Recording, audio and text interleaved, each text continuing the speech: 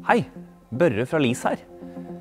Dette er egentlig mer en slags opplysningsvideo. Eh, For skulle du tro det du ser på film, så er roboter farlige, slemme, prøver å ta over verden. Jeg er her for å fortelle at det stemmer ikke. Robotene er våre venner.